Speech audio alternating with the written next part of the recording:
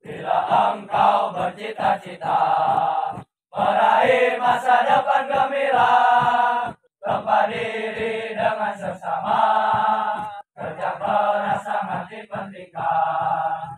Walau tubuh bersimbah keringat, hati harus tenang dan lapang, ibadah dan doa dimantapkan. Hanya Allah tumpuan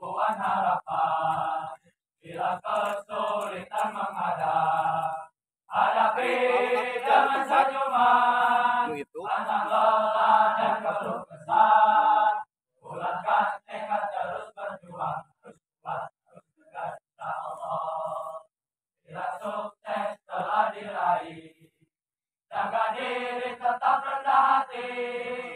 Sujudlah untuk mensyukuri,